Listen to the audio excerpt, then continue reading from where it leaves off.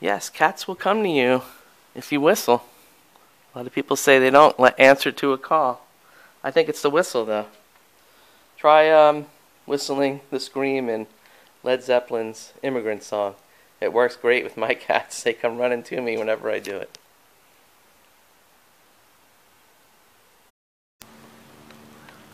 Hey YouTubers, Rainy Day here. Going to do a quick channel recognitions for three channels. First one is going to be Exploring with CF. He has a great channel. He explores abandoned places. I've seen some of his cool videos exploring an abandoned bomb shelter, racetrack. He explores the places that um, we drive by and always wonder, oh, what is that place? He actually goes in and explores. So check out Exploring with CF. He also does live streams, which I always enjoy watching too. Next one is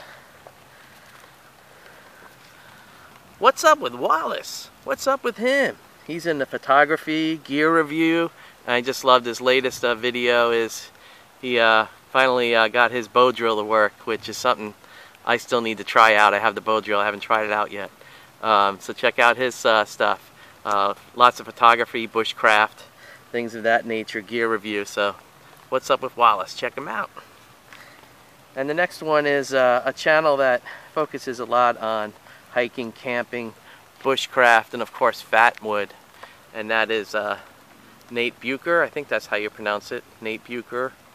Um, does a lot of hiking, camping, bushcraft stuff. Um, and he's really into the Fatwood, like I said. And uh, he's been to a few places I've been to too, which is kind of cool. So check out these three channels. I'll leave the um, links below. Hope you enjoy them.